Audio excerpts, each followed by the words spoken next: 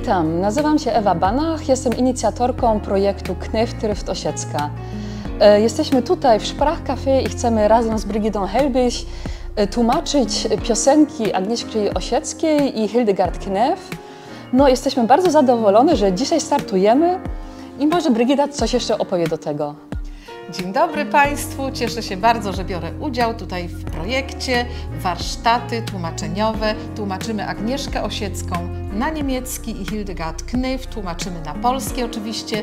Dwie autorki piosenek. E, Knyf także je śpiewała, Agnieszka Osiecka tylko pisała, niemniej jednak są podobne klimaty, są bardzo ciekawe teksty, na pewno będziemy mieć dużo radości. Zapraszamy.